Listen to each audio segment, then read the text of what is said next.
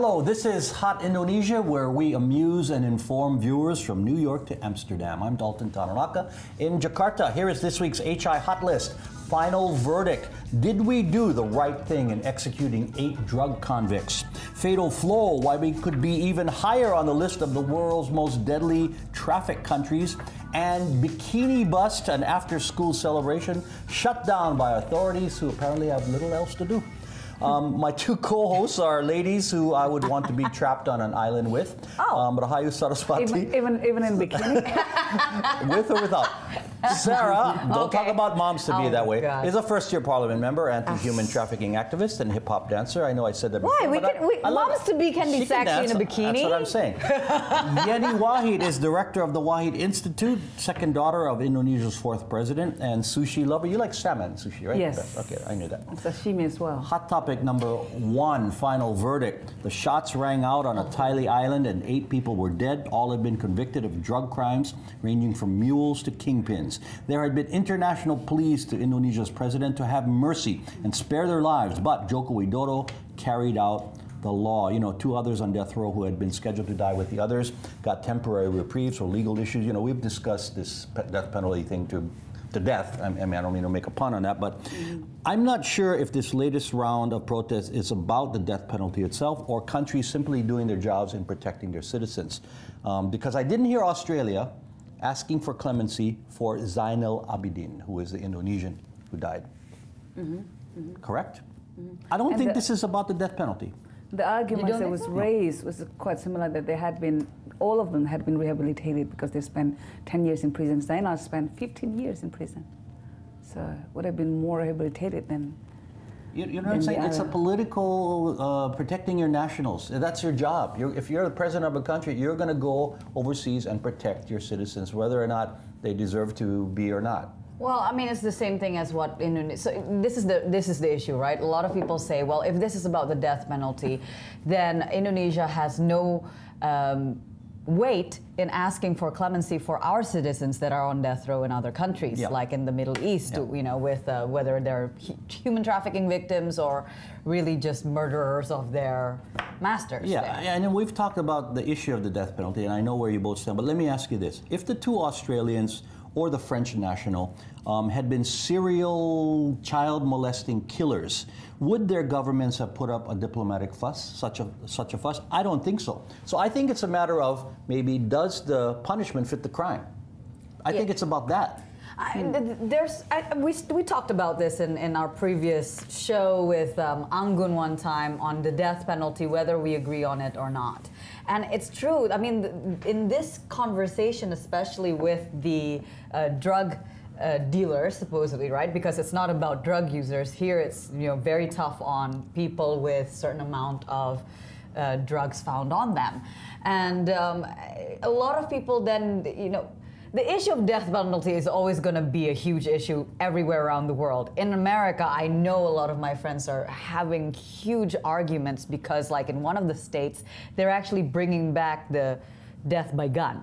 And that's what we're doing here. And I'm already against the death penalty in the first place. But again, I agree with you, Dalton, that is this about human rights? Because if it's about human rights, then shouldn't we just abolish the death Yeah, penalty? Yeah, maybe in- there in should the be a first global ban on the death penalty. I mean, I don't You know, how you'd enforce that. I, I would be for that, but you know, in the U.S., as you said, mm-hmm. China executes thousands of people every year. Japan does.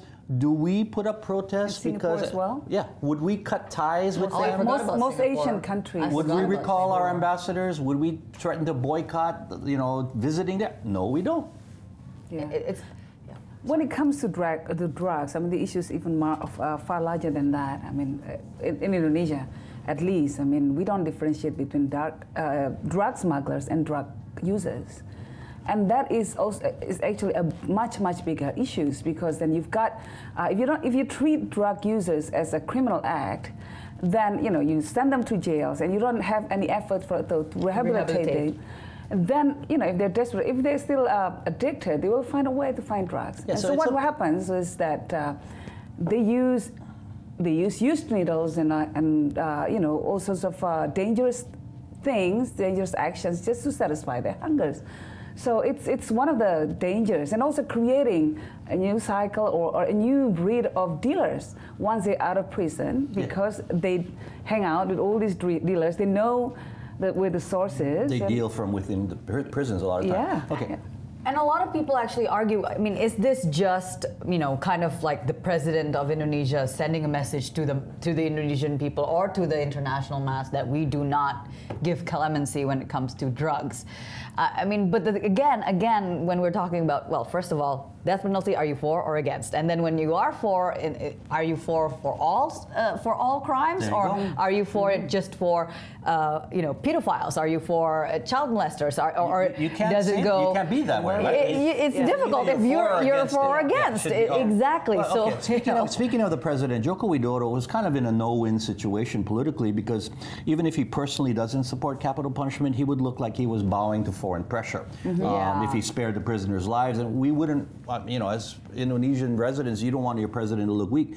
Um, and it's sorry, Dalton, but it's, it's I have to say it's a bit shocking about how a lot of some presidents from you know the foreign countries are re- react not. Not that it's shocking that they're reacting in a certain way, but that they're even threatening, you know, the relations, international relations, it's just diplomatic talk. You think And- Australia's going to cut Well, we ties do, with us? well, we do even the same France, thing, though. even we do the same France. thing, right? Like uh, what was uh, more about held, before. having a moratorium for the Middle Yes. East and all that. For the foreign And More also, if, if he sent. tried to, I mean, he's showing that he's a tough leader, right? And he doesn't bow, but then he shows, it, it looks like he's heartless too. So that's that, that's a no-win situation he was in. Again, death penalty. The other thing is that most people here in Indonesia actually support uh, death penalty. I Yeah. mean, there's no uh, really. Uh, there, there had been uh, in the issue of the case of Mary Jane.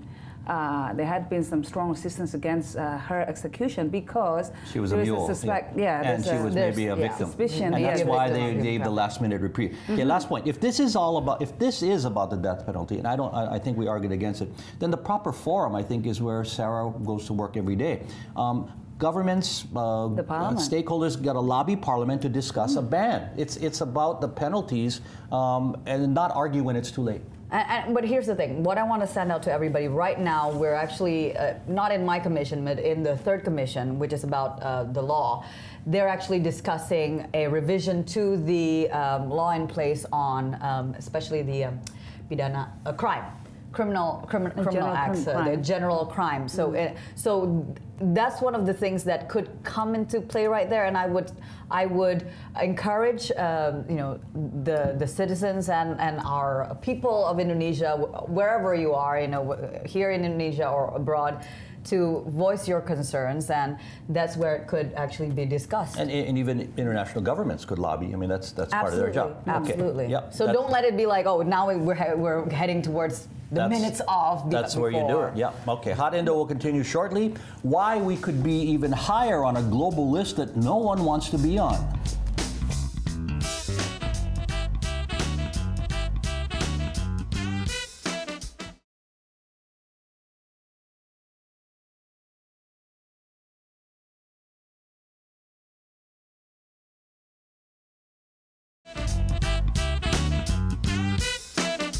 You're watching Hot Indonesia with Yenny, Sarah, and me. Here's hot topic number two fatal flow. Just about every survey says Jakarta has among, if not the worst traffic congestion in the world. The latest list, even more sobering, a national police official said Indonesia had the world's fifth highest total of traffic deaths last year at 28,000. That's 76 people a day. Ahead of us on the list, China, India, Afghanistan, and Nigeria. You know, obviously, one simple factor in this is that population size means more accidents occur. China and India, two biggest countries. I, I did some research. Uh, United States, number three, third biggest country. I mean, they should be on this list because they had 32,000 traffic deaths in 2030. So I think maybe the, the police guy was talking about Asia. Yeah, maybe Asia or, or Asia developing worlds. I don't know because the United States had 32,000. Oh, okay. So they, they had more Yeah. in terms of numbers. Yeah. Okay. Okay. So, but the point is, we have. A So are they talking about large share. percentage, do you think? No, they're just talking No. total number. Okay, If total it's number. by by per capita, that's a different thing. Then maybe yes, you're right. Maybe it, it is Asia. Okay. Oh, then then But that's I think different. The Then that's statistics says that in 2010 alone, there was like more than a million deaths caused by traffic Globally? accidents. No, no, just in Indonesia. Well, that, that, that can't be. Yeah, well, it's just another statistics that's uh, out there. A I million people die. I don't think so. In just one year. I think maybe traffic accidents. Traffic accidents, Yeah, yes, okay. traffic accidents. Fatalities is a, that would, that would be uh, uh, incredible. Oh, okay. the- Yes, The I'm average has getting- I'm been getting- 25 to Yes, yes, 30,000 Fatalities deaths. instead of deaths. You're talking Yes, about traffic okay. accidents uh, Yes, resulting. sorry, traffic accidents. That would be scary. yes. You know, I- I- I'm trying to keep up with my pregnancy brains here. Yeah. Keeping up. The, the factors involved, besides most population, obviously, are um, disregard of safety laws. Mm-hmm. People don't wear their helmets or their seat belts in the cars. Yeah. Um, Well, surprisingly, here the most cause of the accidents, the accidents that happen most is. Uh, well, happens for, uh, for motorcycle for motorcyclists. Yeah. Oh, there's a lot of accounts for about 36 percent of traffic accidents. And that makes and sense. then and then bus driver, uh, bu- uh, bus passengers, and then pedestrians. So car accidents only like uh, less than five percent. yeah. Right. And you know, actually, I was actually going to mention my experience of you know driving or being driven abroad, but then you mentioned maybe it's Asia, so I was going to say something like Italy, where literally they're like crazy Or in. Middle East, in Saudi Arabia. Oh my goodness. they Really? Drive Fast car, like I mean, you've never seen a fast cars like. I mean, do you think it's driven in because it's like Arabia. really straight, as in long roads, yes, stretches long of road? road, Maybe could it be empty that? roads, The Autobahn in Germany. big cars. And, Okay, uh, besides the safety factors, um, the other factors involved in accidents and, and sadly deaths are, are you ignore traffic laws. That's Mm-hmm. that's human error, and, and and driver recklessness. Some people Yes. think they are on the racetrack, Yes. and that's that's Pit limits. But yes. on the other side as well, I don't know if this plays again into just Asia, but I know in the certain countries that have maybe lower or maybe not lower, but just a better situation on the roads would be the how difficult it is to get the um, SIM driver's license in the first place. Here it's Whereas easy. In Here, Singapore, How much does it cost? here you you You don't even have to drive. I know. That's, Be able to that's a drive, sad be You know, we drive. I make mean, fun I of had it, that really but- sad. yeah. It's really sad. We It's actually it, it's actually you a can, serious you can buy issue. you can buy a fake Yeah. traffic Yeah, It's uh, a serious issue. license. with you. Yeah, be, because actually I was taking the test, and I tell you, it's impossible to re, to finish it within the allotted time. Don't tell me that you to be you, you didn't buy it. I didn't want to. I was taking it seriously, but my guy suddenly said, "No, no, no, no. You, What- it's what- just formality." I'm like, "What?" I was so angry that like you know the person who was helping Did me. you get your license I, I did. I did. legally? Legal. It's supposed to be legally, and yet, you know, again, the conversation. I don't know now whether they actually really did a tally Well, of I my got, I got my license when I was still in uh, university. well, I was uh, an undergrad, Yeah. and I, I didn't even know how to drive. then. so, but they advertised that on the campus. oh, It's like a s- But you yeah, didn't, big you, you, banner. you And didn't so- cause any accidents, did you? Yet? Well, I never drive. Anyway, so why do you need a license? why do you need a license? Because all my all my friends were getting the license. Okay. Plus, you need ID when you go into the clubs that don't let you in with a you, know, you know what's really bad though in America when I was driving? I, I never got in a, into an accident with another car while I was on the road. It's always like a, a cone or something that's on the oh, road. Oh, so you like to And I just- inanimate objects. That's okay. That's okay. As long as you don't least get it's hurt. my own car, Okay. you know. I, I, messing. I, I contend that um, we are fortunate that our number on the list isn't even higher because I, I always say that it amazes me every day when you're in traffic how things flow and how it's like water because we should be a lot worse. But, But we but drivers something. here are. No. are no, you know why But as well? actually- Because of the traffic and how slow everything's Well, going. but that people could adjust. also People, we, you know, it's, it's people are flexible here, and they don't have the road rage that other countries do. Thankfully. Yeah, The- but you know, when you look at the, the, how motor, some, some motorcyclists drive, it's just crazy the way Yes. they drive. True, It's just like but Yes.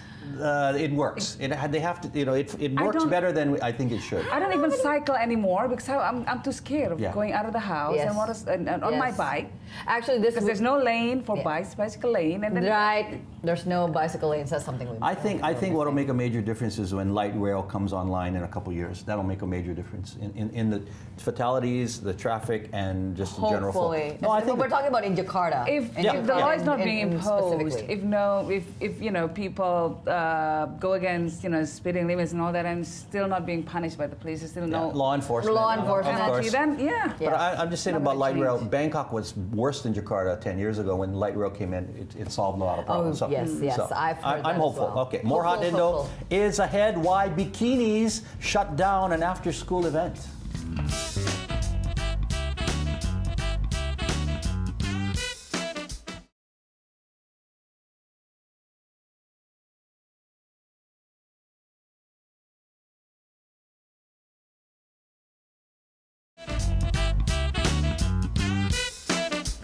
You're watching Hot Indonesia from Jakarta. Hot topic number three Bikini Bust. A party called Splash After Class was promoted on social media. Organizers say it was aimed at students who had finished final exams and who are over 18 years old. Okay, relieve a little stress, no problem to me. But what caught the eyes of parents and school officials was the suggested dress code, which was bikini summer dress, dress, and this promotional video you're watching that included young people drinking and some semi-nude. The event was canceled. When I say semi-nude, I mean we saw a little bit of it, but it, you know, women like without their tops and holding themselves like this.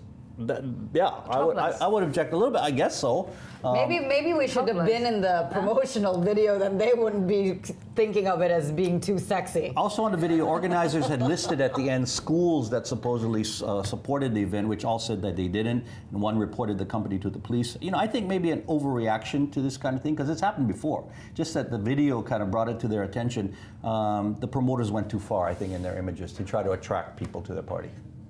Um, well, okay, first of all, the question would be again, I, I didn't get a chance to really go too deep into this because I've been dealing with a lot of the Well, you were there, so issue. didn't you? Yeah, why? why?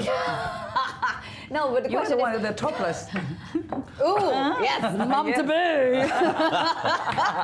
Come to We be baby, to, and you we, mean your we baby. We need yeah. to be more proud of our baby bumps. Okay, no, but I'm Hey, be- yeah, women it's proud a of their natural. bodies, It's natural. okay. natural. We need to be proud of Back it. but point. back to the point is uh, the question would be the promoters uh, are are they again the organizers are they from the kids? Right, or is it actually from event organizers? It's a organizer? Event- professional event professional organizer. event Of course, they're trying to make money. Right. So, so And that's not a bad thing. I mean, it's business. Eh, yes, I suppose you know, but you know what I was actually upset about, along with you know some some women, where we were saying like, you know, if this were just like pictures of men topless and all that, it wouldn't be too much of a Men too much. topless. yes. Uh, like I think just wearing swimming trunks, Yeah. shirtless. Okay, swimming that's- that's a trunks, different way to put uh, it. Party. It's the same, topless, No, well, shirtless. I think the word bikini was a red flag in this. E- You know, see, and- and- exactly. It's But the- always a gender it's- biased thing. What's interesting is that the first uh, first people or a group who raised the issue is actually the Child Protection Agency.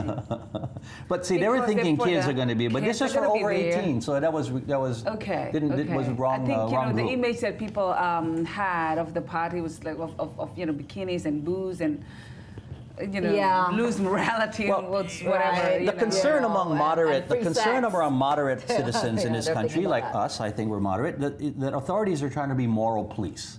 And, and mm-hmm. we don't need more of that. I mean, if it's it's harmless It's- and they're it's just the parents who should it's a pool saying- party. It's a and pool party. What do you wear at a pool party? Bikinis. Well, now we I don't. No, well, Dalton, there's also the tankini, tankini, you know. The Ah. chankini. no, no, Oh. tankini. Oh, no, tankini. tankini, No. and also the burkakini. yeah, burkakini. I was gonna say, hey, burkakinis are all in now. Uh, I'm sure they would have welcomed Tankini is the, it's like not a bikini, but it's a swim costumes. It's a That could be even sexier. your- to They me. could have. They could have. That could be even sexier. You know, Yeah. one piece sometimes is to me. Oh, now uh, ladies, you know how to So get to if- if- Dalton's heart. Yeah. Yeah, one piece. Maybe. My heart. Um, Um, burkakinis. Um, no, tankini, tankini, Yeah. bro. Okay. At water parks and in Bali, of course, there are bikinis everywhere in this country. So we're not fooling anybody that we don't have bikinis. Uh, so Because, uh, you know, I think because bikini. Why are we being so hypocritical bikinis, about this? Bikinis being put in the same sense as School. kids, school kids. but these are adults. They're not kids. That's No, the, but that's the thing. It's like, how do you school still, check? you know, the are connotations of wearing- kids and you so know, their advertising is wrong because If it's this supposed to be 18 and over. They should have just gone. They just should have gone college, like pool college party, kids. Yeah.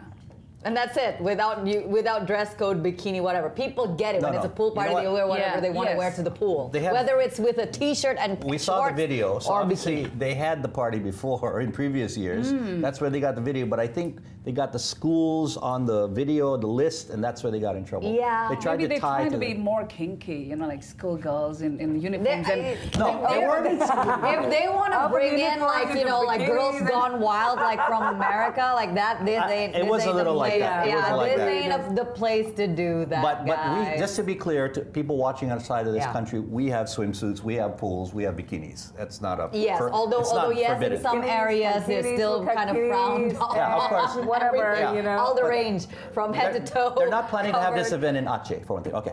Um, Um, yeah. feedback time. no. No. You've heard from us. Now we want to hear from you.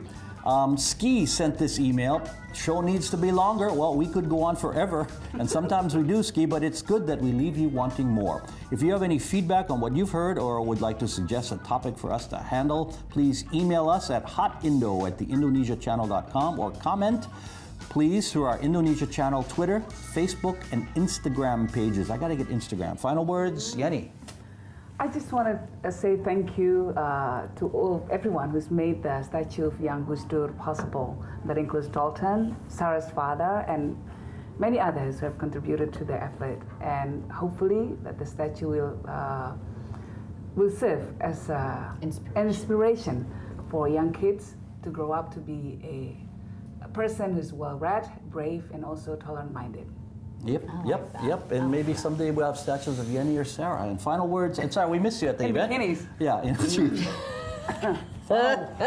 final words. Miss Sarah. When we're three-year-olds, anyway. So my, my final words. Well, in the past few months, certainly going through this process of being a new mom to be, it has been quite eye-opening. Uh, first of all, experiencing pregnancy brain, something that I mentioned earlier on the show. Uh, it is a real thing, especially with um, the fathers to be out there. You need to be very. Um, Tolerant? Tolerant, yes, tolerant that sometimes we're going to forget what we were going to say, you know, forget our, forgetting our keys, whereas maybe before that wasn't happening.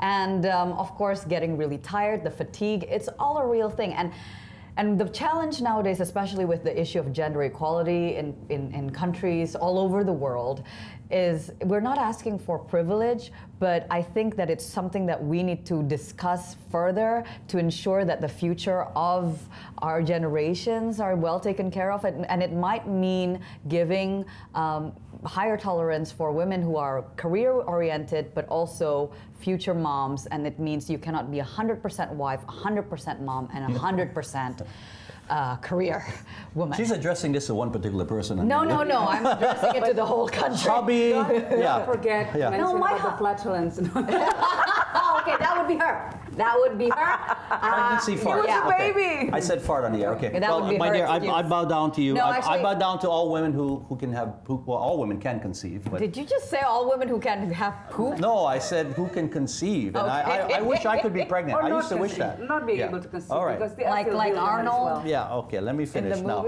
My final words here you know, there are many kinds of loyalty loyalty to a cause, loyalty to a person, loyalty to a company, loyalty to a country.